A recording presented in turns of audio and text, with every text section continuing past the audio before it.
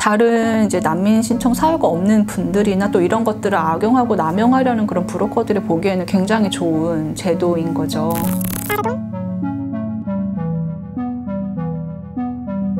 이 판결문이 위조 같다는 거예요. 아, 아무 근거 없이 그냥 이 위조 같대요. 그래서 구례부 처분을 내렸다고 했었거든요. 또 하나 좀 큰 문제는 이제 아무래도 통역이 문제인 것 같아요. 전문적인 우리나라는 아직 그런 사법 통역 양성 제도나 관리 시스템 같은 것이 없어서 이런 실무상의 어떤 전문성이나 능력이 검증되지 않은 분들이 이런 출입국 통역이나 법원 통역을 하는 경우도 많이 계세요. 특히 출입국 통역이 좀 많이 문제가 되고 있는 것 같은데 학부 수준 또는 뭐 해외 체류 경험자 등과 같이 일부 경험만 있으면 그분들 중에 시간이 되시는 분들이 있으면은 이제 불러다가 같이 통역을 이제 하게 되시는 건데 예, 이게 또 문제가 되는 게 난민 면접 조서라는 게 이제 면접 당시에 이제 이제, 이제 작성이 되는 건데 그것이 이제 통역인의 통역을 통해서 작성이 되는 거잖아요. 그렇기 때문에 통역에 문제가 있으면 이 조서도 잘못 작성이 되는 것이죠. 근데 이게 중요한 이유는 추후에 소송을 하게 되면은 국가기관이 작성한 또 본인의 진술을 내용으로 하는 유일한 문서이기 때문에 이거를 거의 법원 측에서는 의심의 여지 없이 믿어준단 말이에요. 나중에 법원에서 혹시 당사자 신문을 한다고 하더라도 이 조서랑 만약에 다른 내용을 얘기를 하게 되는 경우에는 또 이제 신빙성의 탄핵이 이루어지게 되는 것이고요.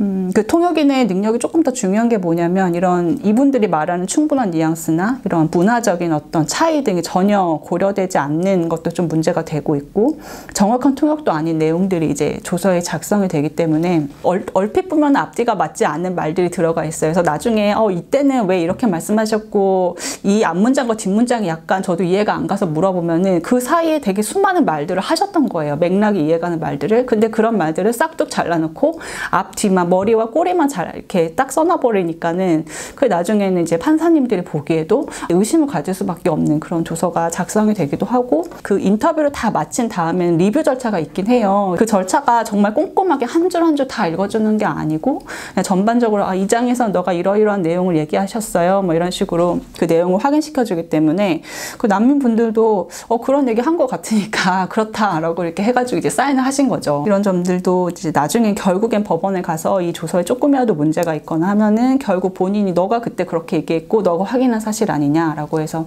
결국 본인한테 또 그 과실이 돌아가게 되는 문제점도 있는 것이고요. 심지어 허위 통역의 사례도 있었는데요.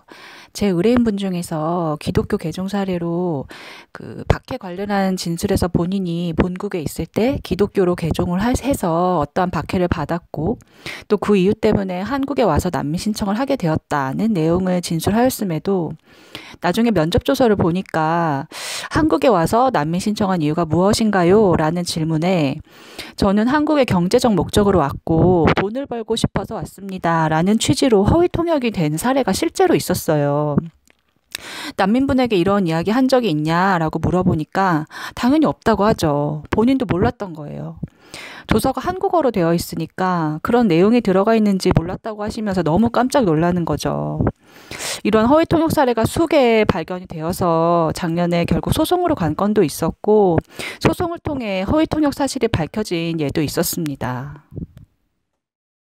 우리나라 그 난민 심사관 수가 너무 부족해요. 그러니까 한 해에 거의 만 명 이제 넘어서고 넘어서게 이제 신청을 하고 계신데 심사관 수는 2018년 기준으로 37명밖에 안 된다고 해요. 그러면은 거의 심사관 한 명당 거의 300건 이상의 그 사건들을 심사를 해야 되는데 저라도 저라도 어쩌면은 그 자리에 있었으면은 그럴 수밖에 없었겠다. 계속 그렇게 재촉하고 난민분들께 좀 다그치고 빨리 짧게 얘기해라. 요점만 얘기해라 라고 말했을 수도 있겠다라는 생각이 들어서 심사 인력을 충분하게 확보를 해야 하는 것이 좀 필요하다라고 생각이 되고요. 그리고 이제 난민 심사관 그 자체의 직위 자체도 좀 너무 빈번하게 인사이동이 일어나고 있어요. 1, 2년마다 한 번씩 이제 인사이동이 돼가지고 결국 또 적응될만 하면은 이제 또 새로운 사람이 들어와가지고 또 아무것도 잘 모르신 상태에서 난민분들을 이제 면접하게 되는 이런 어, 일들이 있어서 이게 결국에는 피해 이러한 그런 어떤 행정 시스템의 피해는 난민 분들한테 고스란히 돌아가기도 하지만 어떻게 보면 이렇게 정확하고 신속한 심사를 하지 못하게 된 행정 당국 자체에도 그 피해는 간다고 생각을 하거든요. 네. 예, 네, 그럴게요. 그러니까 이것도 저는 어떻게 보면은 지금 아까 난민 심사 기간이 너무 장기화되고 있다라는 것이 문제점을 말씀드렸는데 음, 이게 왜 문제가 되냐면은, 어, 남, 한국에서 난민 신청을 하면은 일할 수 있는 비자를 준다더라. 이렇게 또 소문이 나기 시작하는 거예요. 실제로 또 그리고 난민 신청을 해서 법원 단계가 끝나기까지, 법원까지 가지 않더라도 난민 신청해 가지고 이의 신청 기간까지 끝나는데 거의 한 2년이 조금 넘게 걸리는 것 같아요. 그러니까 작년 한 5월 달에 우리나라 입국하셔 난민 신청하신 분이 아직까지도 면접 조사를 못 받았거든요. 거의 1년이 다 되어가요.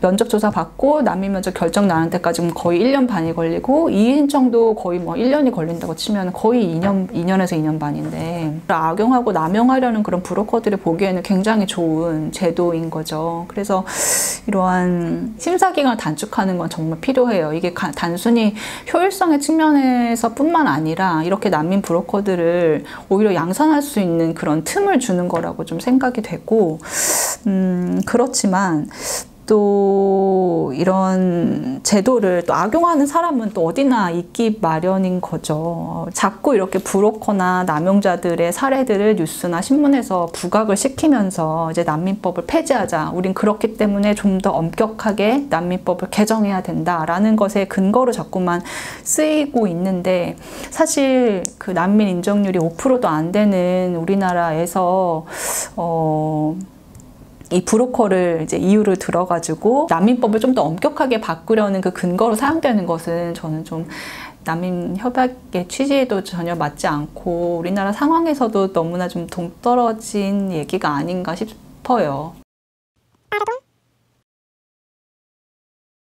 어떤 효율성이나 어, 신속성 을 조금 더 이렇게 우위에 두고서 지금 이제 출입국의 행정들이 돌아가게 되는 면들이 있는데 어, 그런 것이 좀 근본적인 해결 방안은 아닌 것 같고요. 어느 절차 하나라도 좀 더 공정성이 담보된 상태에서 또 종, 전문적이고 독립적인 그런 심사랑 판단을 하는 것이 중요하다고 생각이 되고 이 외에도 그 이 난민분들을 면접할 시간도 너무나 모자란데 그 출입국에서 국가 정황 정보까지만 리서치를 해가면서 이분들 난민 사유가 정말 그러한지 를 이렇게 검토를 하는 건 너무나 이제 힘들고 벅찬 일이기 때문에 이런 국가 정황 정보를 같이 좀 조사할 수 있는 기관이 어, 국가 차원에서 세워지는 것도 중요하다 생각하고 어, 아까도 말씀드렸듯 전문적인 그런 통역인 양성 기관 관리 시스템이 좀, 네, 좀 뒷받침되어야 되지 않나라는 생각도 듭니다.